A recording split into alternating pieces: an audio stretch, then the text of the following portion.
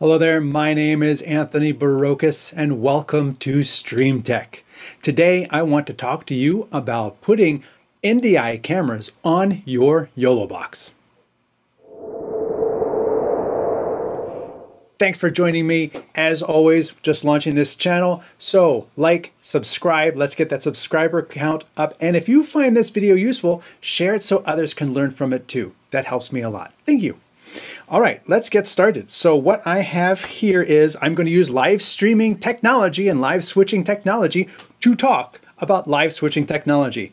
I have the YOLO Box Ultra right here. Over here, I have an 8-inch Amazon Kindle, which is a very affordable Android tablet that I have just, I really like. They're built very durably, they're available, and you can use instructions on the web to be able to put the Google Play Store onto these tablets and make them useful as regular Android tablets. So I think I paid $69 for this. So it's a very affordable way of controlling other devices using standard apps. I will also be talking about the OBSBot this is the Tail Air, and it has been activated with NDI. NDI is not free on the Tail Air. It's an additional uh, activation license. This one has already been activated. Over here, I have the Mevo Start. This one comes complete with NDI already activated. So you don't have to pay an extra licensing fee to activate this. These are two wireless cameras. Let me hold it up here. You can see this camera is very small. I can hold it in my hand. It's a little warm right now, but it's got a single fixed lens in front. It's got a tally, which to you looks purple because it's actually green. So the green is being keyed out and you see the color behind me. Uh, on the back, there's three LEDs showing me by battery power, charging, uh, there's a headphone input, and then a micro SD for uh, internal recording. The OBSBot is much the same and I will be making a video just on these. You have your power indicator on the front because again the battery's built in. It has a micro SD card slot. It has, actually I can come over here. It has a micro SD card slot down here. There is an HDMI out. This is a 4K camera. The Mevo Start is an HD camera although I speculate it has a 4K sensor because when you crop in on it, it still looks really good. Uh, this one has, as you can see, a tilt, a swivel, and tilt lens. Now, it's a PTZ, but the Z, again, this is a fixed focal length camera. There's no optical zoom in it. So you're able to zoom by cropping in on the image. On the other side of this is an audio input. There are two microphones on the front, and then continuing around, there's a USB. There's a USB-C on the back and again, there's the audio input and your built-in microphones. There's one here and there's one further around on this side. So as the camera moves around, it can get sound from more than one direction. There's a light right here, which uh, looks like on the camera, it looks like it's turquoise. It's actually green. And then there's uh, three blue lights down here for your battery strength. And that is all the, uh, well, there's a little bit more on the bottom. There's a quarter 20 thread, although I'm just going to have it sitting on the table. And there's also um, pins to talk to a uh, additional battery slash 360 degrees swivel base. Um, this was provided for me to review to streaming media. I'm doing this in addition to that. Uh, they have not paid me for this review.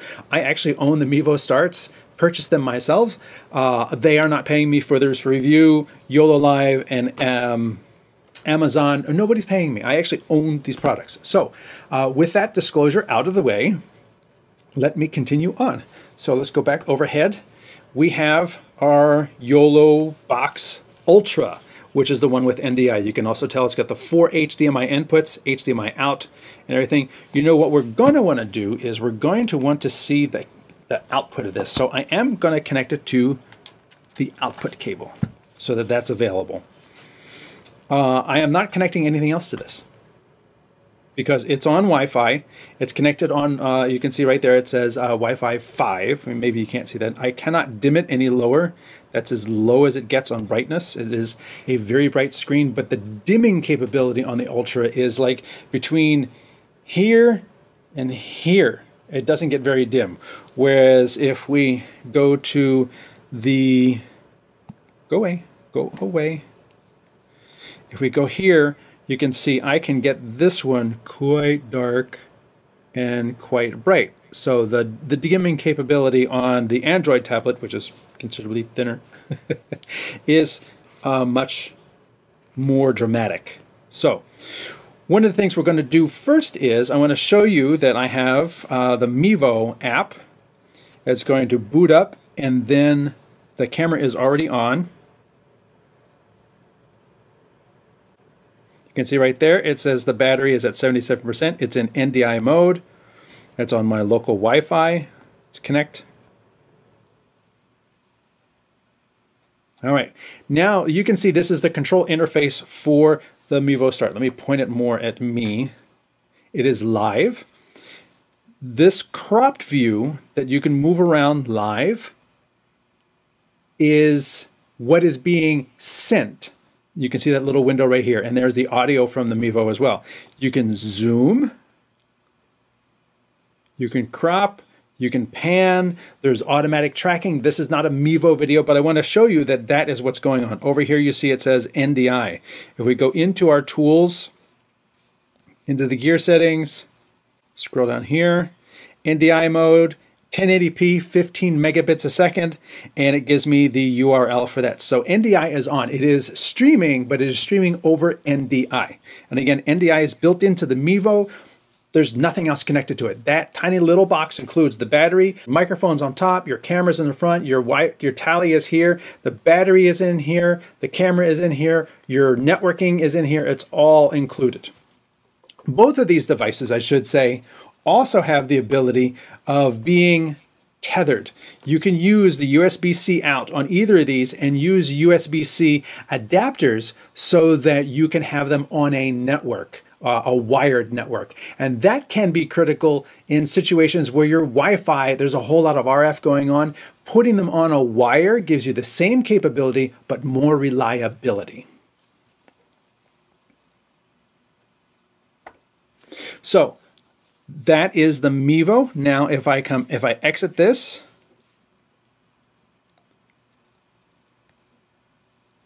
Let's go to the tail air for whatever reason, it always starts in vertical mode. And then when we connect to the camera, it's going to go to horizontal mode. The Logitech at least has figured that part out. And that one always works in horizontal mode, even when connected to the cameras. The, the OBSBot, not so much.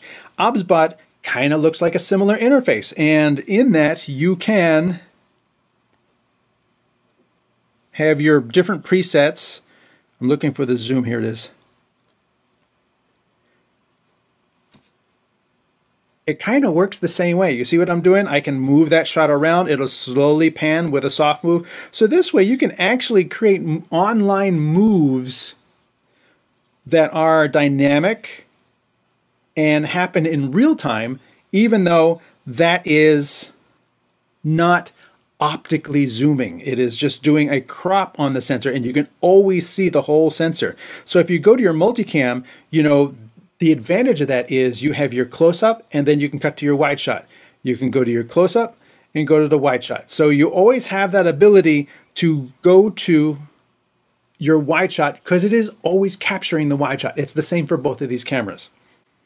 Over here, this little icon, you can't quite make it out because I don't have, these don't do video out. This little icon is like a little crosshair.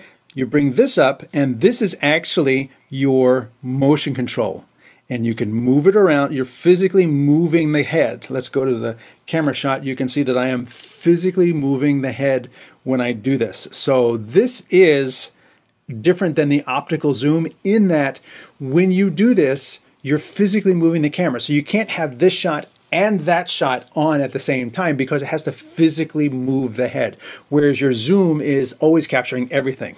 So you can, let's come back over here to the overhead, you can pan it over here and then say this is P1. Oh, no, it's going to P1. Pan it over here, press and hold, update, that's P1. And then if I want, let's tilt down here, tilt down a little more, tilt up a little more, that's going to be P2. So I've got P1 and P2. Now, the key thing to note is I'm doing this on the tablet because that capability is not in the Ultra. The Ultra uh, is able to receive over NDI the camera video, this, this little subset window of what I'm capturing. It's not able to control the camera. It's only accepting the video. So I'm able to use the tablet here in conjunction with my YOLO box to control the presets. And if you had three cameras, I would highly recommend three tablets. Have one tablet for each camera, especially if you're going to be changing the shot, because there's too much time to exit one camera, move over, connect to the other camera, change the shot, come back out, change over, come back in, change the shot. There's just too much time. When you want to change the shot, you need two, go to there, three, zoom in, you need to go between those cameras very quickly. And that's why I would recommend having a tablet de dedicated to each camera. And yes, it's almost another $100, but it's definitely worth it. So let us go into the YOLO box. One important thing you need to know about activating NDI on the YOLO Box Pro is that NDI is a technology that's incorporated into it, but you need to pay a license fee. Well, actually, YoloLiv has to pay a license fee, but you have to pay it through YoloLiv. So when you first go to use it, you're going to get a screen like this. And it tells you you can activate it, you can test it out, you can try it for five minutes at a time, and then those NDI devices will stop working. Currently, the fee is $99 to activate NDI for your YOLO Box Ultra. It is only for that particular device, that particular YOLO Box Ultra. If you have a second YOLO Box Ultra, then you'll need to pay another $99. However, it's not per connection. So you can connect multiple devices, your output, all of it is activated with the single fee. So once you pay that $99 fee to activate NDI on your Ultra, then all of the features become available. We're going to go into that. We're going to say, yes, I know there's updates. We're not going to do that right now. We are going to create a new title. We're going to call this NDI. Check. Do it. We're going to go into that show. So now, if you're familiar with the YOLO box, you know that little add video source right there. That is what you're going to be looking at. We're going to click on that. And then down here, right there, it says NDI. That is how we're connecting the camera because again, we are not using cables. We are using Wi-Fi here in the office. And as I've always said, when you're using Wi-Fi for connecting your devices, bring your own Wi-Fi because the Wi-Fi is essentially bringing your own cables. You're not going to trust whatever cable somebody else has. Don't rely on whatever Wi-Fi might be at the location. First, it might be not great. Secondly, there's a lot of other stuff on it you can't control. Third, it may be protected because if it's public Wi-Fi, they may have it isolated so that the different devices can't see each other. You'll connect all your devices to the Wi-Fi and nothing will work. So bring your own Wi-Fi. So you can see my two cameras right there, the Mevo Start and the Tail Air are both available. You cannot select all of the devices and bring them in all automatically. So we're gonna go with the Tail Air first because that's the one I have loaded up on the Android tablet. So I say done, there it is. Now you can see I've got my video source and it is just like any other camera. It's there. There will be a little bit of delay in terms of compressing it, sending it over the local area network, and then having it uncompressed in the tablet. You're going to have a little bit of delay. The camera you're seeing here, this is hardwired HDMI into this switching device. The camera you're seeing down there is overhead hardwired into the switching device. So there's no difference in the two cameras that are filming these two things, but there's a difference between this camera and the OBSBot going through the Wi-Fi. So when I move my hand, oh, now it's going to track me because tracking is on. Turn tracking off. No, tracking is still on. I said turn tracking off. Thank you. We're not going to get into that. We'll get into that with the OBSBot review. What I have done is I have added the NDI camera here. Let's go overhead. I have the camera here. I have access to the actual camera over here because in here, if you select the gear icon, you can do various things in the YOLO box, but what you can't do is you can't control the camera. You can't assign presets. You can't move it. You can't crop it. You can't move the crop around. You can't do any of that. You also can't adjust the camera settings like exposure and things like that. So you're going to need another device. That is key. Even though you may be able to do some of those things over NDI like pan, tilt, zoom, you can do over NDI, not in the YOLO box, but also the other camera features you're only going to be able to do with the camera app. And that is key to having a separate device to do that. So I could do a chroma key on that, flip horizontal, flip vertical, rotate 90 degrees. I could, you know, flip horizontal if I wanted to. There you go. Now I'm looking in the correct direction. That really doesn't me I'm not really doing anything in the YOLO box to actually change what the camera is delivering. If I want to change what the camera is delivering, go to P2, go to P1, go back to P2, I'm going to need that other tablet. Let us add the Mevo Start. Same way, you hit plus, you come down to NDI, it's going to, again, search the network because it has to do this every time to say, ask around, what else is out there? And it's going to show me all my choices. I already have the tail air, but it's not it's still going to show it to me. So again, you have to be aware of what you're adding. We're going to add the Mevo, done. You can see now the Mevo is right there, and you can see it is a very different color than the OBSBot camera. I may have uh, been messing around with the color over there. So what I need to do here is I need to come out, close this, go into my Mevo camera. It's probably going to take me back to the, no, it didn't take me to the login screen. And here I can move the camera. Let's bring that up over here. I can move over here. I can move down here. And I can kind of do the same thing. I can say over here, and if I press and hold this, you see a little plus comes up. So I'm going to plus that, and what that's going to do is that's going to add it to my list of cameras. This is what's on air, this is static, and this is my wide. So again, the wide is always available. I can always cut to the wide. There it is and then I can cut to that close-up shot that I created. Cut back to the wide, cut to the close-up. Now, if I want to close this, I want to create another one just close on me. I can press here. Oh, don't trash it. Oh, I, what I did was I moved it. Uh, don't do that. Let's go back to the wide. Zoom in just on me. Now you can see here's my other camera preset right there. I, I had mistakenly dragged that. I'm going to press hold here. It's going to say there's the add new static shot. There we go. And now I got my two shots. I go to the multi-view and I can see here's the shot of my equipment over here. Here's the shot of me. Here's the wide shot. So it's very cool to be able to have these different shots available as different presets. And you can see as I tap it, it just pops up over here. Again, there's a slight delay, and if I go to the wide shot, you can see there's a little bit of delay between the camera over here and receiving it in the YOLO box. That's very key that you understand that. Lastly, I wanted to show you that you can come in here to your color controls and all of your different settings, exposure, camera mode, auto, auto, brightness, contrast, saturation, all of that is available in the camera app, not in the YOLO box. Got it. And that is going to be a very important differentiator as to why you need that second tablet. Adding NDI devices to your YOLO box is very handy. You can add up to three at this point, but you're going to want to be able to control them. And for that, you're going to need a second device.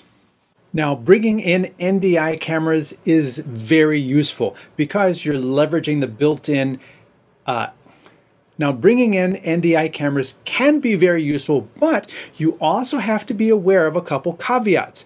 If the rest of your cameras are wired, the NDI cameras are going to be a little bit behind your wired cameras. There's going to be an additional delay. So I always recommend taking these cameras and pointing them at the audience, at different other areas that aren't the same thing that you're going to cut from. So if you're going to come from the speaker on stage and you want to show the audience, nobody's going to notice a two frame delay from your little PTZ camera or your standalone smart. But if you've got a wide shot and a, you know if you got two cameras looking at the stage and then you're going to cut to a close up of an operated camera over a wire, people are going to notice a little bit of delay.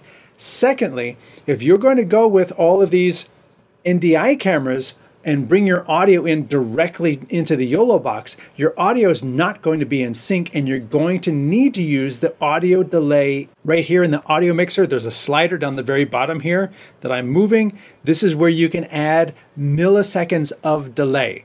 Each frame is about 30 milliseconds at 30 frames per second. So if you want to set two frames of delay, there's one frame, 60 frames, 60 about 60 milliseconds is two frames of delay you might need to add more. So do a test. I always say test multiple times, test, test, test, and then figure out what looks good, do a recording, play it back, and see how that audio matches up. Additionally, one way you could match your audio to your NDI camera is to plug your audio into your NDI camera and then it will come in with the NDI camera right here. So then that way you would turn that camera on, turn your audio off here and the audio will come with the video and you won't have to worry about a sync delay from that. Now again, remember your NDI cameras are not going to match your wired cameras. Those are things that you need to consider. This has been a look at how to connect NDI devices to the YOLOBox Ultra. My name is Anthony Burokas for StreamTek. If you found this video useful, share it. It'll help other people too. Thanks for watching.